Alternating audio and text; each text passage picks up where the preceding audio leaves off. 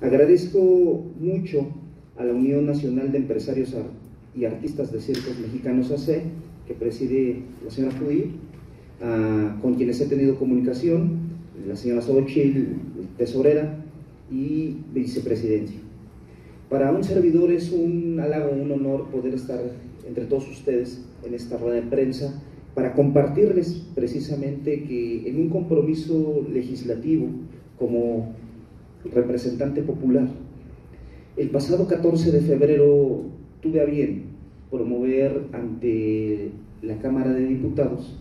una figura legislativa denominada proposición con punto de acuerdo.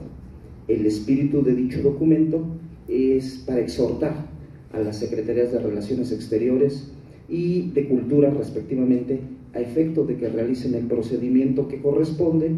en el ánimo de que se proponga a la UNESCO, es decir, a la Organización de las Naciones Unidas para la Educación, Ciencia y la Cultura, se inscriba al circo en la lista representativa del patrimonio cultural inmaterial de la humanidad.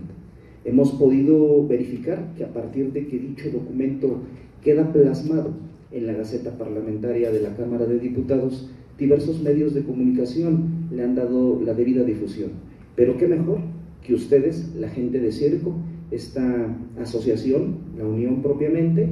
pueda rebasar las fronteras como lo han hecho con sus espectáculos. Y no únicamente que se sepa en nuestro país que podemos ser nosotros los principales promotores para que se dé este reconocimiento a nivel mundial. Si le damos la debida difusión, tendríamos el respaldo, por supuesto, de otros países, de gente del circo, y esto significaría un gran logro para lo que ustedes han hecho durante muchas generaciones. Ello también debe implicar entender que el circo es una tradición viviente que ha sido heredada ciertamente generacionalmente a través de la difusión de prácticas, valores, memorias, por su enfoque de desarrollo familiar, contribuye a generar cohesión social,